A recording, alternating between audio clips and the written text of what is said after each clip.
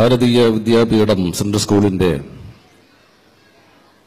രണ്ടായിരത്തി പതിനാറിലെ ഈ വാർഷിക ആഘോഷ പരിപാടിയുടെ പ്രൗഢഗംഭീരമായ ഈ ചടങ്ങിൽ അധ്യക്ഷം വഹിക്കുന്ന ഡോക്ടർ സി സുരേഷ് കുമാർ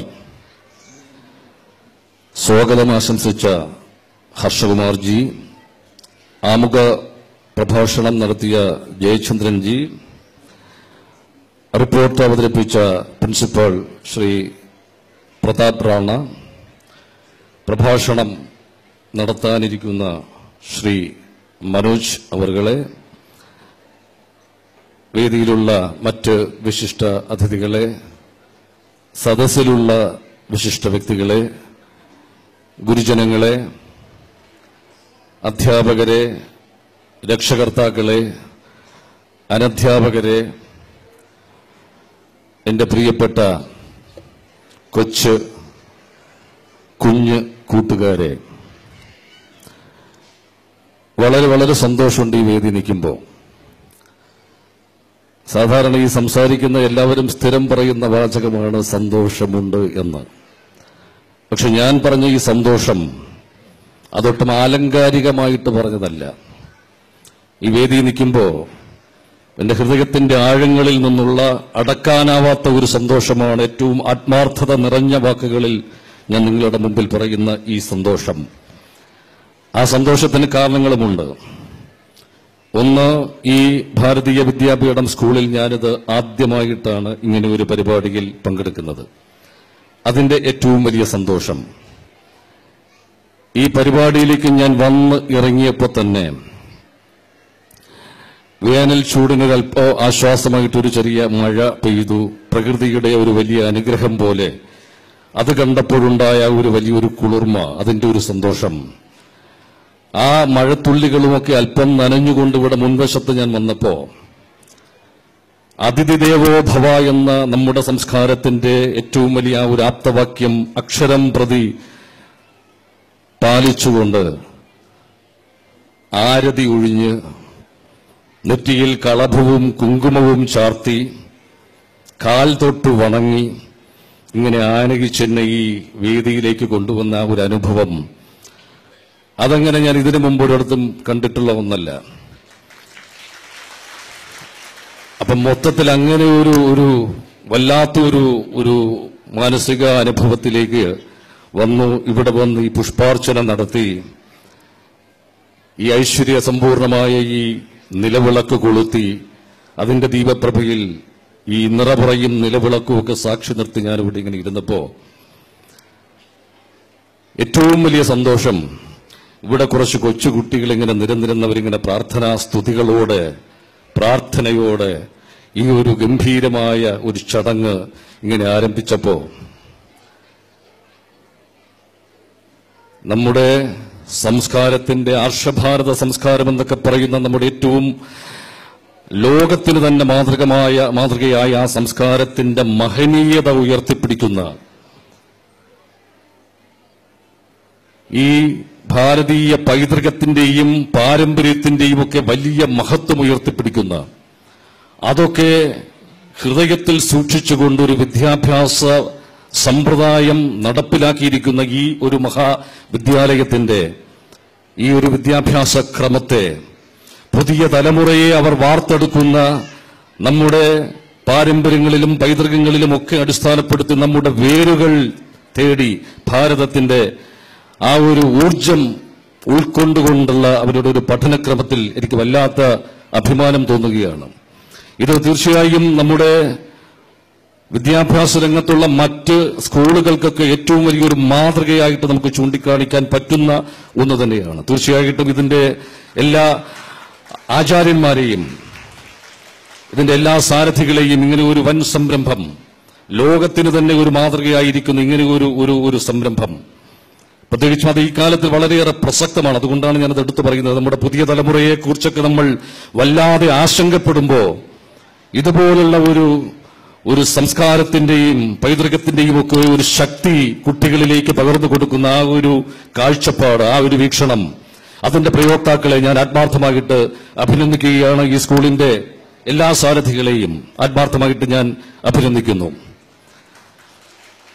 അങ്ങനെ വളരെ ഹൃദയം നിറഞ്ഞ ഒരു സന്തോഷത്തിലാണ് ഞാൻ നിൽക്കുന്നത്. കൊച്ചുകുട്ടികളൊക്കെ ഇപ്പോൾ ഒരുവിധം ഒന്ന് തളർന്നതുപോലെ ഇരിക്കുന്നത് കൊണ്ട് ഞാൻ കൂടുതൽ സംസാരിക്കുന്നത് ഉചിതമാണോ എന്ന് എനിക്കറിയില്ല. എങ്കിലും കുറച്ചെന്തെങ്കിലുമൊക്കെ പറയാതെ പോകുന്നത് ശരിയല്ലല്ലോ. എന്റെ മുമ്പിലിരിക്കുന്ന ഓരോ കുഞ്ഞും ഓരോ കുട്ടിയും ഓരോ വിദ്യാർത്ഥിയും ഓരോ വലിയ അത്ഭുതങ്ങളാണ്. നമ്മുടെ ഓരോ കുഞ്ഞും ഓരോ വലിയ അത്ഭുതമാണ് എന്ന് പറഞ്ഞത് സ്വാമി വിവേകാനന്ദനാണ്. ഇന്ത്യയുടെ ആത്മീയ ചൈതന്യമായി ലോകത്തിന് മുമ്പിൽ ജ്വലിച്ചു നിന്ന ആ മഹാസൂര്യനാണ് പറഞ്ഞത് നമ്മുടെ കുഞ്ഞുങ്ങൾ ഏറ്റവും വലിയ അത്ഭുതങ്ങളാണ് എന്ന്. നമ്മുടെ ഓരോ കുട്ടിയും ഒരുപാട് ഒരുപാട് അത്യസാധാരണമായ കഴിവുകളുടെ കലവറകളാണ്. ഒരുപാട് വ്യത്യസ്തങ്ങളായ കഴിവുകൾ നമ്മുടെ കുട്ടികളിൽ ഒളിഞ്ഞിരിപ്പുണ്ട്. ആ കഴിവുകളെ കണ്ടെത്തുകയും അതിനെ പ്രോത്സാഹിപ്പിക്കുകയും പ്രോജ്വലിപ്പിക്കുകയും ചെയ്യുന്നതാണ് യഥാർത്ഥ വിദ്യാഭ്യാസത്തിന്റെ ലക്ഷ്യം എന്ന് പറയുന്നത് തന്നെ. ഇവിടെ ഇപ്പോൾ റിപ്പോർട്ട് വായിച്ചു കേട്ടപ്പോ ആമുഖ പ്രഭാഷണം കേട്ടപ്പോ ഒക്കെ എനിക്ക് മനസ്സിലാക്കി എനിക്ക് മനസ്സിലായി ഈ ഒരു കുറച്ച് സിറ്റിയിൽ നിന്നൊക്കെ കുറച്ച് വിട്ടുനിൽക്കുന്ന ഈ ഒരു നാട്ടുംപുറത്ത് എന്ന് ഏതാണ്ട് പറയാവുന്ന ഈ ഒരു പ്രദേശത്തുള്ള ഈ ഒരു മഹാവിദ്യാലയത്തിൽ നിന്ന് പുറത്തു വരുന്ന കുട്ടികൾ. അവർ പഠനരംഗത്തും കലാകായിക രംഗത്തും ഒക്കെ അവർ പ്രകടിപ്പിച്ച വലിയ മികവ് തീർച്ചയായും അങ്ങനെ ഒരു സങ്കല്പം ഈ സ്കൂളിന് ഉണ്ട് എന്നുള്ളതിന്റെ ലക്ഷണമാണ്. ആ റിപ്പോർട്ട് വായിച്ചപ്പോൾ ഞാനത് മനസ്സിലാക്കുന്നു. നിങ്ങളുടെ ഈ കുട്ടികളിലുള്ള കഴിവുകൾ കണ്ടെത്തി അതിനെ പ്രോത്സാഹിപ്പിക്കുന്ന തരത്തിലുള്ള ഒരു വിദ്യാഭ്യാസ സമ്പ്രദായമാണ് ഇവിടെ തുടരുന്നത് എന്ന് ഞാൻ മനസ്സിലാക്കുന്നു. ഞാൻ പറഞ്ഞു നിങ്ങളിലുള്ള കഴിവുകളൊന്നും എല്ലാം വ്യത്യസ്തമാണ് അത്യസാധാരണമായ കഴിവുകളാണെന്ന് പറഞ്ഞു. ഒരു കഴിവും ഒന്നിനേക്കാൾ മെച്ചമോ ഒന്നിനേക്കാൾ മോശമോ അല്ല എന്ന് നിങ്ങൾ തിരിച്ചറിയണം. നിങ്ങളിലുള്ള ഏതു കഴിവിനും ഡിമാൻഡും മാർക്കറ്റുമുള്ള ഒരു ലോകത്താണ് നിങ്ങൾ. നിങ്ങൾക്ക് ചിലപ്പോൾ പ്രസംഗിക്കാൻ കഴിവുണ്ടാവും ചിലർക്ക് പാട്ടുപാടാൻ കഴിവുണ്ടാവും നൃത്തം ചെയ്യാൻ കഴിവുണ്ടാവും. ചിലർക്ക് കണക്കിലും കമ്പ്യൂട്ടറിലും സയൻസിലും ഭാഷയിലും ഒക്കെ വല്ലാത്ത കഴിവുണ്ടാകും. നൃത്തം ചെയ്യാൻ അഭിനയിക്കാൻ കലാരംഗത്ത് കായിക രംഗത്തൊക്കെ വ്യത്യസ്തമായ നിരവധി കഴിവുകൾ നിങ്ങൾക്കുണ്ടാകും. അതിലേതാണ് നിങ്ങളുടെ മാർഗം നിങ്ങളുടെ കഴിവെന്ന് നിങ്ങൾ തിരിച്ചറിയുക. അതാണ് ഏറ്റവും പ്രധാനം.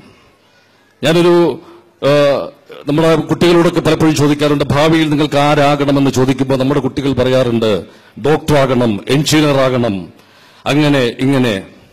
വലിയ വലിയ ആഗ്രഹങ്ങളാണ്. പക്ഷെ ഈ ഒരു മാറുന്ന ലോകത്ത് മാറുന്ന കാലത്ത് അങ്ങനെ അങ്ങനെയല്ല നമ്മളാകേണ്ടത് നമ്മുടെ കഴിവുകളിൽ നമുക്ക് ആത്മവിശ്വാസം ഉണ്ടാവുക ആ കഴിവിൽ ഏറ്റവും മാസ്റ്ററായി തീരുക എന്നുള്ളതാണ് പ്രധാനം. ഒരു പാചകക്കാരനാകുന്നതിനെ കുറിച്ച് എന്റെ കുട്ടികളോട് ഞാൻ ചോദിച്ചാൽ നിങ്ങളുടെ അഭിപ്രായം എന്താണ്? ഒരു പാചകക്കാരനാകുന്നതിനെ കുറിച്ച് ഇഷ്ടമാണോ നിങ്ങൾക്ക്? ഇഷ്ടമാണോ? അതെ നമ്മുടെ കുട്ടികൾ നമ്മുടെ ഒരു മനോഭാവം അതാണ്. നമ്മൾ ഈ കർഷകരെയും പാചകക്കാരെയും ഒക്കെ നമ്മൾ അതൊരു വേറെ ഒരു മണ്ണിൽ പണിയെടുക്കുന്നവരെയൊക്കെ നമ്മളങ്ങനെ മാറ്റി നിർത്തുന്ന ഒരു സ്വഭാവമാണ്. നമ്മൾ ഈ വൈറ്റ് കോളർ സംസ്കാരത്തിലേക്കാണ് നമ്മുടെയൊക്കെ ഒരു വലിയ താല്പര്യം. മുമ്പ് നമ്മുടെ മന്ത്രിയായിരുന്ന മുല്ലക്കര രത്നാകരൻ സാർ പറഞ്ഞ ഒരു കാര്യം ഞാനിപ്പോൾ ഓർക്കുകയാണ്. അദ്ദേഹം ഒരു വേദിയിൽ പറഞ്ഞതാണ്. മുമ്പ് അമേരിക്കൻ പ്രസിഡന്റായിരുന്ന ബിൽ ക്ലിന്റൺ അദ്ദേഹം ഇന്ത്യ സന്ദർശിച്ചപ്പോ കുട്ടികൾ ശ്രദ്ധിക്കണം കുട്ടികൾ ശ്രദ്ധിക്കണം. ഇന്ത്യ സന്ദർശിച്ചപ്പോ അദ്ദേഹത്തിന്റെ മകൾ ചെൽസി ക്ലിന്റനും കൂടെ ഉണ്ടായിരുന്നു. അവരിവിടുത്തെ ഇന്ത്യയിലെ പല ഔദ്യോഗിക പരിപാടികൾക്കിടയിൽ അവരിവിടെ നിന്ന് കഴിച്ച ഭക്ഷണത്തിന്റെ കൂട്ടത്തിൽ ഒരു ഭക്ഷണം ഈ ചെൽസി ക്ലിന്റന് വല്ലാതെ അങ്ങ് ഇഷ്ടമായി. അത് മറ്റൊന്നുമല്ല നമ്മുടെ മസാല ദോശയും ചമ്മന്തിയും. മറ്റൊരു വിദേശ ഭക്ഷണത്തിന് ഒരു വിദേശ മെനുവിനും നൽകാൻ കഴിയാത്ത ഒരു ഗംഭീര സ്വാദായിട്ട് ചെൽസിക്ക് അനുഭവപ്പെട്ടു. ഇന്ത്യയിൽ നിന്ന് തിരിച്ചു പോകുമ്പോ ഈ ചമ്മന്തി ഉണ്ടാക്കിയ പാചകക്കാരന്റെ വിലാസവും ബയോഡേറ്റയുമായിട്ടാണ് ചെൽസി തിരിച്ചു പോയത് അമേരിക്കയിലേക്ക്. ഒന്ന് രണ്ട് മാസം കഴിഞ്ഞപ്പോ അമേരിക്കയിൽ നിന്നും ഈ ഒരു വിദഗ്ധനായ പാചകക്കാരനെ തേടി അമേരിക്കൻ വിസയും ഫ്ലൈറ്റ് ടിക്കറ്റും ഉൾപ്പെടെ എത്തി. ഇന്നിപ്പോ പ്രതിമാസം മൂന്നോ നാലോ ലക്ഷം രൂപ ശമ്പളത്തിന് ഈ വിദഗ്ധനായ ഈ പാചകക്കാരൻ അമേരിക്കയിൽ ചമ്മന്തി അരിച്ചുകൊണ്ടിരിക്കുക അപ്പൊ നമുക്ക് നിസ്സാരമെന്ന് തോന്നുന്ന പല കാര്യങ്ങൾക്ക് പോലും ഏറ്റവും ഒരു ഡിമാൻഡുള്ള മാർക്കറ്റുള്ള ഒരു കാലത്താണ് നമ്മൾ ജീവിക്കുന്നത്. നമ്മളുള്ള ഒരു കഴിവും മോശമല്ല. പക്ഷേ ആ കഴിവ് നിങ്ങൾ തിരിച്ചറിയുക. അതല്ല ഏറ്റവും പ്രധാനം. നിങ്ങളിലുള്ള കഴിവുകൾ നിങ്ങൾ തിരിച്ചറിയുക. വിദ്യാഭ്യാസം അതിനുകൂടിയുള്ള ഒരു മാർഗമാണ്. അത് നിങ്ങൾ തിരിച്ചറിയണം. വിദ്യാഭ്യാസം എന്ന് പറയുന്നത് സത്യത്തോട് ചേർത്ത് നിർത്തുകയാണ് കുട്ടികളെ. നിങ്ങൾ കുട്ടികളെ സത്യം കണ്ടെത്താൻ പ്രേരിപ്പിക്കുകയും സത്യം അന്വേഷിക്കാൻ പ്രേരിപ്പിക്കുകയും സത്യം കണ്ടെത്താൻ പ്രാപ്തരാക്കുകയും ചെയ്യുന്നതാണ് വിദ്യാഭ്യാസം. ആ കണ്ടെത്തിയ സത്യങ്ങളിൽ ഉറച്ചു നിൽക്കാനുള്ള ശക്തി അത് നൽകുന്നത് കൂടിയാണ് വിദ്യാഭ്യാസം. നിങ്ങൾ കരുതുന്നുണ്ടാവും നിങ്ങൾ ഈ സ്കൂളുകളിൽ പഠിക്കുന്നത് മുഴുവൻ സത്യമാണ് എന്ന് നിങ്ങൾ ധരിക്കുന്നുണ്ടാവും. നിങ്ങൾ അറിയുന്നതും കാണുന്നതും കേൾക്കുന്നതും ഒക്കെയാണ് സത്യമെന്ന് നിങ്ങൾ ധരിക്കുന്നുണ്ടാവും. സ്കൂളുകളിൽ പഠിക്കുന്നത് മുഴുവൻ സത്യമാണ് എന്ന് നിങ്ങൾ തെറ്റിദ്ധരിക്കരുത്. ഒരുപാട് സത്യങ്ങളോടൊപ്പം ചില കള്ളങ്ങളും നിങ്ങൾ പഠിക്കുന്നുണ്ട് എന്ന് നിങ്ങൾ തിരിച്ചറിയണം. ശാസ്ത്രകാശുകളിൽ നിങ്ങൾ പഠിക്കുമ്പോൾ ശാസ്ത്രകാശുകളിൽ പഠിക്കുമ്പോൾ എങ്ങനെയാണ് ഈ പ്രപഞ്ചമുണ്ടായത് എന്നാണ് നമ്മളെ പഠിപ്പിച്ചിട്ടുള്ളത്? കുട്ടികളോടാണ് ഞാൻ ചോദിക്കുന്നത്. പ്രപഞ്ചമുണ്ടായത് എങ്ങനെയാണ്? മനുഷ്യനുണ്ടായത് എങ്ങനെയാണ്? ശാസ്ത്രം നമ്മെ പഠിപ്പിച്ചിട്ടുള്ളത് ഒരു മഹാസ്ഫോടനത്തിലൂടെ ഒരിക്കൽ യാദൃശികമായി ഇങ്ങനെ പ്രപഞ്ചമുണ്ടായി. മഹാസ്ഫോടന സിദ്ധാന്തം. പരിണാമത്തിലൂടെ ഏകകോശജീവി ബഹുകോശജീവി പിന്നെ പരിണാമത്തിലൂടെ ജന്തുക്കൾ ജന്തുക്കൾ പരിണമിച്ച് മൃഗങ്ങൾ പരിണമിച്ച് മനുഷ്യരുണ്ടായി. ഇങ്ങനെയൊക്കെയാണ് നമ്മൾ പഠിച്ചതും പരീക്ഷ എഴുതിയതും. ഞാനൊക്കെ എങ്ങനെയാണ് പരീക്ഷയ്ക്ക് പഠിച്ചതും പാസ്സായതുമൊക്കെ. പക്ഷെ ഇന്നിപ്പോ ആലോചിക്കുമ്പോ അങ്ങനെ യാദൃച്ഛികമായ ഒരു സ്ഫോടനത്തിലൂടെ ഇത്രയും കൃത്യമായി സംവിധാനം ചെയ്യപ്പെട്ടിരിക്കുന്ന ഒരു പ്രപഞ്ചം ഉണ്ടാകുമോ? നിങ്ങൾ ആലോചിക്കണം. നിങ്ങൾ ശാസ്ത്ര ക്ലാസുകൾ പഠിച്ചതൊക്കെ അവിടെ നിൽക്കട്ടെ. നിങ്ങൾ ചിന്തിക്കണം. സൂര്യൻ ചന്ദ്രൻ കോടാനുകോടി നക്ഷത്രങ്ങൾ ഗ്രഹങ്ങൾ ഉപഗ്രഹങ്ങൾ അവയ്ക്കൊക്കെ ചലിക്കാൻ കൃത്യമായ ഭ്രമണപഥങ്ങൾ സൗരയൂഥം ഈ ഗ്രഹങ്ങളൊക്കെ ഇങ്ങനെ യുഗങ്ങളായി എത്രയോ എത്രയോ യുഗങ്ങളായി ഇങ്ങനെ നിരന്തരം സഞ്ചരിച്ചുകൊണ്ടിരിക്കുകയാണ് ഭ്രമണം ചെയ്തുകൊണ്ടിരിക്കുകയാണ്. ഒരു അപകടവും ഉണ്ടാകാതെ ഇവിടെ ഇത്രയും ട്രാഫിക് സിസ്റ്റമുള്ള ഒരു ലോകത്ത് നമ്മൾ ജീവിക്കുമ്പോൾ നിരന്തരം ഇവിടെ അപകടങ്ങളാണ്. പക്ഷെ ഈ അപകടങ്ങളൊന്നും കൂടാതെ ഈ മഹാഗ്രഹങ്ങൾ നമുക്കൊന്നും ചിന്തിക്കാൻ പറ്റാത്ത ആ മഹാ ഈ ഈ പ്രപഞ്ചം അതിങ്ങനെ ചലിച്ചുകൊണ്ടിരിക്കുകയാണ്. ഭൂമി ചലിക്കുന്നു നമ്മൾ അറിയുന്നില്ല എന്നേ ഉള്ളൂ. ശാസ്ത്രം അത് തെളിയിച്ച കാര്യമാണ്. ഇങ്ങനെയുള്ള ഈ ചലനം രാത്രിയും പകലുമൊക്കെ ഇങ്ങനെ കൃത്യമായി മാറി മാറി വന്നുകൊണ്ടിരിക്കുന്നത് ഋതുഭേദങ്ങൾ ഉണ്ടാകുന്നത്. നിങ്ങൾ ശ്രദ്ധിച്ചിട്ടുണ്ടോ? ഈ സൂര്യന്റെ സൂര്യനിൽ നിന്നും ഭൂമിയുടെ അകലം ഒരല്പം കൂടി അകന്നു പോയിരുന്നെങ്കിൽ ഭൂമിയുടെ അവസ്ഥ എന്താകുമായിരുന്നു? ഇവിടെ കൃത്യമായി ഭൂമിയിൽ ജീവൻ നിലനിൽക്കാൻ ആവശ്യമുള്ള ചൂടും പ്രകാശവും കിട്ടുന്ന ആ അളവിൽ കൃത്യമായി ഭൂമിയുടെ സ്ഥാനം നിർണയിക്കപ്പെട്ടിരിക്കുകയാണ് ഒരല്പം അകന്നു പോയിരുന്നെങ്കിൽ ഈ ചൂട് കിട്ടാതെ പ്രകാശം കിട്ടാതെ തണുത്ത് മരവിച്ച് ജീവന്റെ നിലനിൽപ്പിന് അസാധ്യമാകും വണ്ണം ഭൂമി ഐസ് പോലെ ആയിത്തീരുമായിരുന്നു. ഒരുപക്ഷെ ഈ സൂര്യനോട് ഒരല്പം കൂടുതൽ അടുത്തു പോയിരുന്നെങ്കിൽ നിങ്ങൾ ചിന്തിച്ചിട്ടുണ്ടോ? കത്തിക്കരിഞ്ഞു പോകുമായിരുന്നു സൂര്യന്റെ താപം താങ്ങാനാകാതെ. ഇതെങ്ങനെ ഇത്ര കൃത്യമായി ഈ അകലം നിർണയിക്കപ്പെട്ടു? യാദൃശികമായ ഒരു സ്ഫോടനത്തിലൂടെ അങ്ങനെ സംഭവിക്കുമോ? ഞാൻ അങ്ങനെ വിശ്വസിക്കുന്നില്ല. ഈ മഹാസമുദ്രങ്ങൾ ഇങ്ങനെ ഭൂമിക്കാര് അതിരിട്ടതുപോലെ അതിക്രമിച്ചു കയറാതെ ഇങ്ങനെ നിർത്തിയിരിക്കുകയാണ് അവിടെ നിൽക്കുകയാണ്. മനുഷ്യനെ കുറിച്ച് മാത്രം നിങ്ങൾ ചിന്തിക്കും. നമ്മളെക്കുറിച്ച് ചിന്തിക്കൂ. എന്തൊരു മഹാവിസ്മയമാണ് മനുഷ്യൻ. പരിണമിച്ചത് മൃഗങ്ങൾ പരിണമിച്ച് മനുഷ്യനുണ്ടായി എന്ന് പറയുന്നത് ഞാൻ വിശ്വസിക്കുന്നില്ല. മനുഷ്യനെ മനുഷ്യനായി തന്നെയാണ് ഭൂമിയിൽ സൃഷ്ടിച്ചിരിക്കുന്നതെന്നാണ് ഞാൻ വിശ്വസിക്കുന്നത്. അങ്ങനെയാണെങ്കിൽ ജന്തുക്കളാണ് പരിണമിച്ച് മനുഷ്യരുണ്ടായതെങ്കിൽ ജന്തുക്കളുടെ രക്തവും മനുഷ്യന്റെ രക്തവും തമ്മിൽ വലിയ വ്യത്യാസമുണ്ടാകുമോ? ജന്തുക്കളുടെ ആന്തരികാവയവങ്ങൾ മനുഷ്യനും ചേരണമല്ലോ. മനുഷ്യൻ എന്തൊരു ഭാവനയും ബുദ്ധിയും ചിന്തയും ആശയങ്ങളും ആശയ പ്രകാശന ഉപാധികളും ഭാഷയും ഒക്കെയുള്ള മഹാവിസ്മയമല്ലേ മനുഷ്യൻ? അവന്റെ ഓരോ സിസ്റ്റങ്ങൾ നിങ്ങൾ ആലോചിച്ചു നോക്കൂ. ഹൃദയം മനുഷ്യന്റെ ഹൃദയം. അമ്മയുടെ ഗർഭപാത്രത്തിൽ ഉരുവാകുന്ന നാലാമത്തെ ആഴ്ച മുതൽ ഇങ്ങനെ നിരന്തരം തുടിച്ചു തുടിച്ചു നിൽക്കുന്ന ആ കുഞ്ഞു ഹൃദയം. ഒരു മനുഷ്യൻ നൂറോ അതിലധികമോ വർഷം ജീവിക്കുമ്പോഴും ഒരു നിമിഷം പോലും മുടങ്ങാതെ ഇങ്ങനെ തുടിച്ചുകൊണ്ടിരിക്കുന്ന ആ ഹൃദയത്തെക്കുറിച്ചൊന്ന് നിങ്ങൾ ചിന്തിക്കൂ. കരളിന്റെ പ്രവർത്തനങ്ങളെക്കുറിച്ച് കിഡ്നിയുടെ പ്രവർത്തനങ്ങളെക്കുറിച്ച് ശ്വാസകോശത്തിന്റെ പ്രവർത്തനങ്ങളെക്കുറിച്ച് നമ്മുടെ കാഴ്ചയെക്കുറിച്ച് നിങ്ങൾ ചിന്തിക്കൂ. ഇതൊക്കെ ഇങ്ങനെ യാദൃച്ഛികമായി സംഭവിച്ചതാണ് എന്ന് പറഞ്ഞാൽ ഞാനത് വിശ്വസിക്കാൻ തയ്യാറില്ല. മഹാസ്ഫോടന സിദ്ധാന്തവും പരിണാമ സിദ്ധാന്തവും ഒക്കെ ആവിഷ്കരിക്കപ്പെട്ട അവതരിപ്പിക്കപ്പെട്ട ചില ആശയങ്ങൾ മാത്രമാണ് എന്ന് നിങ്ങൾ തിരിച്ചറിയണം. ഇന്നും നാസയുടെയൊക്കെ കേന്ദ്രങ്ങളിൽ ഇങ്ങനെ പരീക്ഷണങ്ങൾ നടന്നുകൊണ്ടിരിക്കുകയാണ് പ്രപഞ്ചോൽപത്തിയെക്കുറിച്ച്. ഇന്നും കൃത്യമായ ഒരു നിഗമനത്തിൽ അവർക്ക് എത്തിച്ചേരാൻ കഴിഞ്ഞിട്ടില്ല. മനുഷ്യന്റെ പരിണാമത്തെക്കുറിച്ചുള്ള കൃത്യമായ കണ്ണുകൾ കൂട്ടിയിണക്കിക്കൊണ്ടുള്ള ആദ്യം ജനിച്ച ഇവിടെ ഉണ്ടായി എന്ന് പറയുന്ന ഹോമോസാപ്പിയൻ മനുഷ്യൻ മുതൽ ഇങ്ങനെ അതിന്റെ പല കണ്ണുകളും അവർക്ക് കിട്ടാതെ ഒരു പരിണാമത്തിന്റെ കൃത്യത തെളിയിക്കാൻ പറ്റാതെ കൺഫ്യൂഷനിൽ ശാസ്ത്രലോകം നിൽക്കുമ്പോ ഈ അവതരിപ്പിക്കപ്പെട്ട ആശയങ്ങൾ യാഥാർത്ഥ്യമാണ് ഇതാണ് സത്യം എന്ന് പറഞ്ഞ് നമ്മളെ ശാസ്ത്രം പറ്റിച്ചുകൊണ്ടിരിക്കുകയാണ് എന്ന് നിങ്ങൾ തിരിച്ചറിയണം. ഇത് ശാസ്ത്രീയമായി തെളിയിച്ചിട്ട് അവർ നമ്മളെ പഠിപ്പിക്കട്ടെ. ഇതാണ് സത്യം. ഇതാണ് സത്യമെന്ന്. ഞാൻ ഇന്ന് ആലോചിക്കുമ്പോൾ ഈ മഹാവിസ്മയം പ്രപഞ്ചവും മനുഷ്യനുമൊക്കെ ദൈവത്തിന്റെ മഹാ മഹാവിസ്മയമാണ് എന്ന് ഞാൻ മനസ്സിലാക്കുന്നു. മഹാ സൃഷ്ടികളാണെന്ന് ഞാൻ മനസ്സിലാക്കുന്നു. ഒരു മാസ്റ്റർ എഞ്ചിനീയറായി ഒരു മാസ്റ്റർ ബിൽഡറായി സർവശക്തനായ ഒരു ദൈവമാണ് ഈ പ്രപഞ്ചവും മനുഷ്യനെയും ഒക്കെ സൃഷ്ടിച്ചത് എന്ന് ഞാൻ ഇന്ന് തിരിച്ചറിയുന്നു. ഇതിലെല്ലാം ഞാൻ ദൈവത്തിന്റെ ഒരു മഹത്വമാണ് ഞാൻ കാണുന്നത്. ഞാൻ പറയുന്നത് നിങ്ങളും ചിന്തിക്കണം. ഞാൻ നേരത്തെ പറഞ്ഞു സത്യം കണ്ടെത്തലാണ് വിദ്യാഭ്യാസം. സത്യത്തിനോട് ചേർന്ന് നിൽക്കുകയാണ് വിദ്യാഭ്യാസം. സത്യം അന്വേഷിക്കാൻ നിങ്ങൾ തയ്യാറാവണം. നിങ്ങൾ നിരന്തരം ചോദ്യങ്ങൾ ചോദിക്കണം. നിങ്ങളെ ക്ലാസ്സിൽ പഠിപ്പിക്കുന്ന അധ്യാപകരോട് നിങ്ങൾ ചോദ്യങ്ങൾ ചോദിച്ച് അധ്യാപകരെ ശല്യപ്പെടുത്തണം എന്നാണ് ഞാൻ പറയുക. പലപ്പോഴും നമ്മൾ വിദ്യാർത്ഥികൾ അധ്യാപകരോട് ചോദ്യങ്ങൾ ചോദിക്കുമ്പോൾ അധ്യാപകർക്ക് അതൊരു തലവേദനയാണ്. തലവേദനയാണ്. പല അധ്യാപകർക്കും വിദ്യാർത്ഥികൾ ചോദ്യങ്ങൾ ചോദിക്കുന്നത്. രക്ഷകർത്താക്കൾക്ക് തന്നെ ചോദ്യങ്ങൾ ചോദിക്കുന്നത് ഇഷ്ടമല്ല. പക്ഷെ ഞാൻ എന്റെ കുട്ടികളോട് പറയും നിങ്ങൾ ചിന്തിക്കണം. സത്യം നിങ്ങൾ അന്വേഷിക്കണം. അതിനുള്ള ശക്തി നിങ്ങൾക്കുണ്ടാവണം. ചോദ്യങ്ങൾ ചോദിക്കാനുള്ള ആർജവം നിങ്ങൾക്കുണ്ടാകണം. അധ്യാപകർ പഠിപ്പിക്കുന്നത് മുഴുവൻ ഇനി നിങ്ങൾ കണ്ണുമടച്ചങ്ങനെ വിശ്വസിക്കേണ്ട നിങ്ങൾ ചോദിക്കണം. നിങ്ങൾ കേട്ടിട്ടുണ്ടാവും തോമസ് ആൽവ ഗിഡ്സൺ എന്ന് പറയുന്ന ഒരു മഹാശാസ്ത്രജ്ഞനെ. Thomas Alva ഗിഡ്സൺ.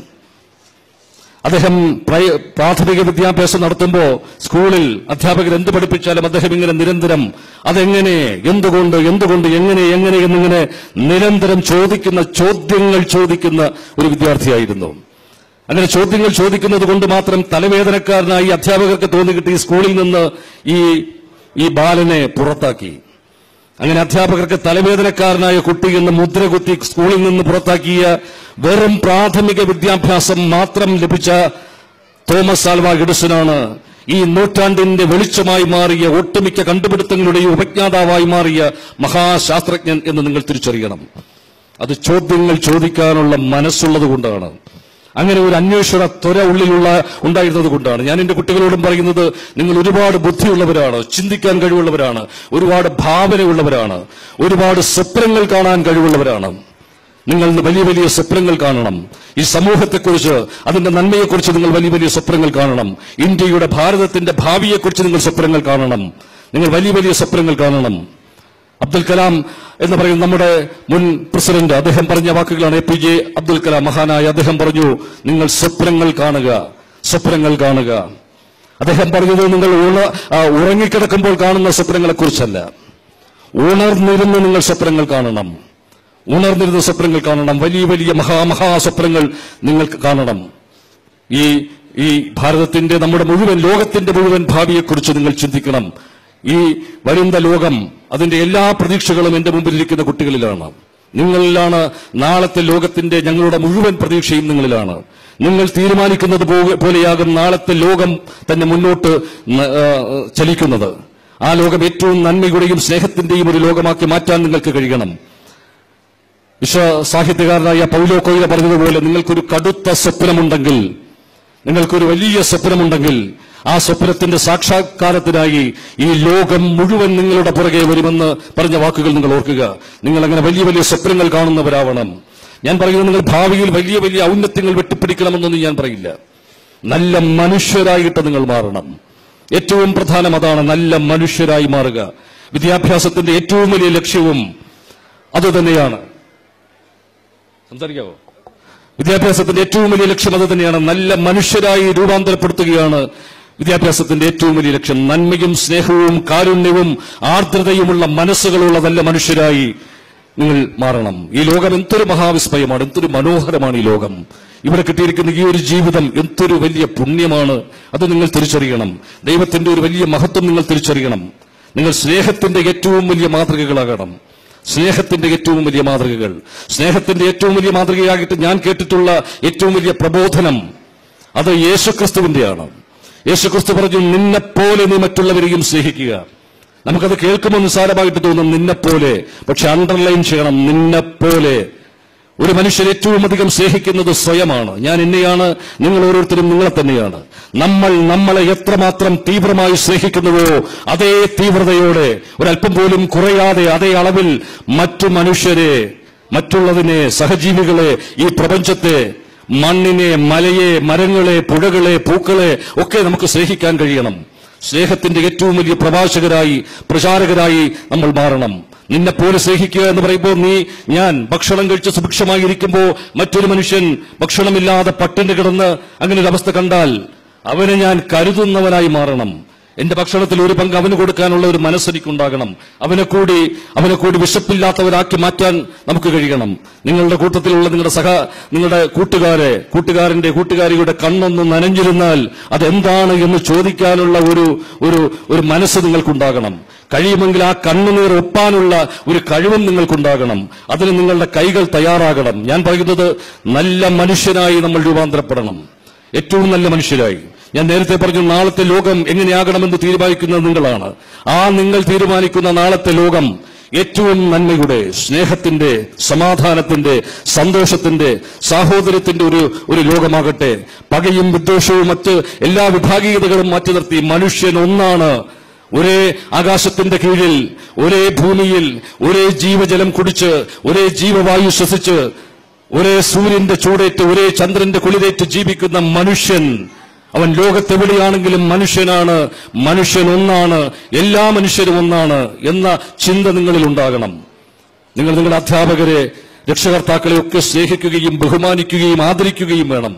ദൈവത്തിന്റെ വലിയ മഹത്വം നിങ്ങൾ തിരിച്ചറിയണം. അത് മനസ്സിലാക്കണം. ദൈവത്തെ നിങ്ങൾ സ്തുതിക്കണം ആരാധിക്കണം. ഇവിടെ ഈ വിദ്യാഭ്യാസ സമ്പ്രദായം ഞാൻ മനസ്സിലാക്കുന്നു. ഇതെല്ലാം ഇതെല്ലാം മുതിർന്നവരെ ബഹുമാനിക്കാൻ അധ്യാപകരെ ആദരിക്കാൻ ദൈവത്തിന്റെ മഹത്വം മനസ്സിലാക്കുന്നതൊക്കെ ആണ് ഇവിടുത്തെ ഒരു പാഠ്യ പദ്ധതിയുടെ ശക്തി എന്ന് ഞാൻ തിരിച്ചറിയുന്നു. ഈ ഭാരതീയ വിദ്യാഭ്യാസത്തിൽ പഠിക്കാൻ അവസരം കിട്ടിയിരിക്കുന്ന നിങ്ങൾ തീർച്ചയായും ഞാൻ പറയും. ഏറ്റവും വലിയ ഭാഗ്യവാന്മാരാണ് നിങ്ങളെന്ന് ഞാൻ പറയും. ഭാഗ്യവതികളാണെന്ന് ഞാൻ പറയും. നിങ്ങൾക്ക് കിട്ടിയിരിക്കുന്ന ഈ ഒരു അവസരം അത് ഏറ്റവും വലിയ സത്യാന്വേഷകരായി ഏറ്റവും വലിയ സ്നേഹത്തിന്റെ പ്രവാചകരായി സ്നേഹത്തിന്റെ പ്രചാരകരായി ഏറ്റവും നല്ല മാതൃകാ മനുഷ്യരായി നന്മയുള്ള മനുഷ്യരായി രൂപപ്പെടാൻ നിങ്ങൾക്ക് കഴിയട്ടെ. അതിനുള്ള ശക്തി ഈ വിദ്യാഭ്യാസ കാലത്ത് ഈ വിദ്യാകേന്ദ്രത്തിൽ നിന്ന് ഈ മഹാവിദ്യാകേന്ദ്രത്തിൽ നിന്ന് തന്നെ ഞാൻ പറയും. എനിക്ക് അഭിമാനത്തോടെ പറയാൻ പറ്റും ഇവിടുത്തെ ഒരു പഠനക്രമത്തെക്കുറിച്ച് ഞാൻ അറിയുമ്പോൾ എനിക്ക് അത്രമാത്രം അഭിമാനം തോന്നുന്നു. തീർച്ചയായിട്ടും അങ്ങനെ ഒരു വലിയ ശക്തി നിങ്ങൾക്ക് ലഭിക്കട്ടെ എന്ന് മാത്രം ആശംസിച്ചുകൊണ്ട് എന്നെ ഇങ്ങോട്ട് ക്ഷണിച്ചതിന് എന്നോട് കാണിക്കുന്ന സ്നേഹത്തിന് പ്രോത്സാഹനത്തിനൊക്കെ ഹൃദയത്തിന്റെ ഭാഷയിൽ നന്ദി പറഞ്ഞുകൊണ്ട് നന്ദി പ്രത്യേകിച്ചും എനിക്ക് നമ്മുടെ പ്രിയപ്പെട്ട സെക്രട്ടറി ശ്രീ ഹർഷകുമാർ ജി അദ്ദേഹത്തോട് പ്രത്യേകിച്ച് നന്ദി പറയാനുണ്ട്. എന്റെ പ്രിയപ്പെട്ട സുഹൃത്ത് ഉണ്ണി ഉണ്ണി ഇവിടുത്തെ ഫോട്ടോഗ്രാഫർ. അദ്ദേഹം സിനിമയിലുമൊക്കെ വളരെ തിരക്കുള്ള ഒരു ഫോട്ടോഗ്രാഫറാണ്. വളരെ വർഷങ്ങളായിട്ടുള്ള എന്റെ സൗഹൃദമായിട്ടാണ് ഉണ്ണിയുമായിട്ട്. അപ്പൊ ഉണ്ണിയും എന്റെ സ്നേഹപൂർവം ഇങ്ങോട്ട് ഈ പരിപാടിയിലേക്ക് വരണമെന്ന് ക്ഷണിച്ചു ഉണ്ണിയോടും ഒക്കെയുള്ള പ്രത്യേകിച്ചുള്ള നന്ദിയും കടപ്പാടും പറയുന്നു. പ്രിൻസിപ്പാളിനോട് ഈ സ്കൂളിന്റെ മാനേജ്മെന്റിനോട് ഈ സ്കൂളിന്റെ എല്ലാ സാരഥികളോടും പ്രിൻസിപ്പാളിനോടൊക്കെ ഉള്ള നിങ്ങളോടും അധ്യാപകരോടും രക്ഷകർത്താക്കളോടും കുട്ടികളോടും ഒക്കെയുള്ള ആ ഹൃദയത്തിന്റെ ഏറ്റവും ആഴത്തിലുള്ള നന്ദിയും കടപ്പാടും സ്നേഹവും ഒക്കെ അറിയിച്ചുകൊണ്ട് ഒരിക്കൽ കൂടി എല്ലാ ആശംസകളും നേർന്നുകൊണ്ട് നിർത്തുന്നു. നന്ദി നമസ്കാരം. ഇതിന്റെ അനുഗ്രഹത്തോടു കൂടി അനുവാദത്തോടു കൂടി ഈ ഉദ്ഘാടനം നിർവഹിച്ചതായിട്ട് అభివృద్ధికు పొంది thank you sir Next for delivering short speech, I would like to welcome Harya Vidyadivide, Trandam District Coordinator, CM Manoj.